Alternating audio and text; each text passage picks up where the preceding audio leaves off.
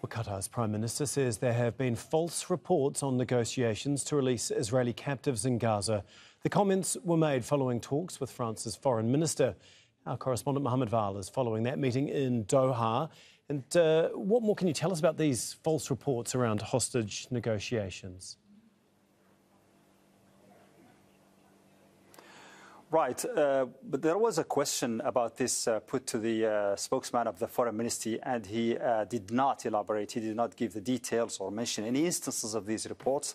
But he said that that's not important. The, the type of reports or leaks that have been uh, spread around is not important. But what is important is that any leak, any leak about these negotiations regarding the release of the hostages or uh, so-called hostages, others call them prisoners, is harmful to that cause and should only delay uh, the results that are uh, being looked for.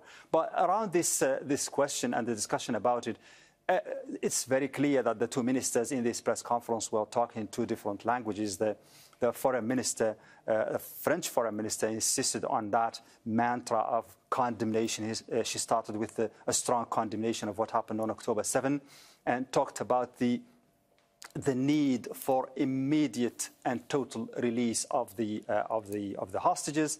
She talked about also the need to, to make everything possible to prevent an escalation or a widening or a spreading of the conflict in the region. So those are apparently the most important points that she insisted on. We know that the negotiations uh, understandably, we're talking about something else. Something else has been negotiated in terms of what the Israelis want and what the, uh, the other side want, Hamas wants, and so on. But that's not, that hasn't been explained in this press. What has been talked about is these generalities. But on the Qatari side, we see a different language, different priorities. The Qatari uh, uh, foreign minister insisted on immediate ceasefire, lasting ceasefire, and also the opening of the Rafah crossing and the channeling of humanitarian aid, not only uh, on a limited scale, but a permanent, in a permanent manner, so that those civilians in Gaza could be could be helped. So, I mean, there, there is certainly this uh, role of Qatar and uh, regarding the regarding the negotiations over the hostages and so on and that apparently that is the subject and the, uh, the, the, the, the, the, goal of these discussions here between the French and the Qataris.